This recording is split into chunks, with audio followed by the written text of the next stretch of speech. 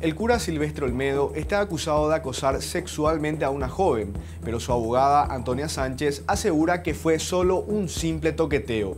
Luego de las declaraciones de la abogada se le preguntó su postura como mujer y dijo que conoce perfectamente la forma de trabajar del sacerdote y que la tranquilidad que presenta el padre es de una persona inocente.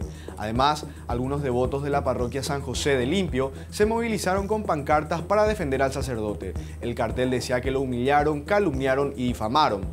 La Iglesia Católica apartó del cargo a Silvestre tras haber sido denunciado por acosar y manosear a una joven. Para la Nación, soy Álvaro Rojas.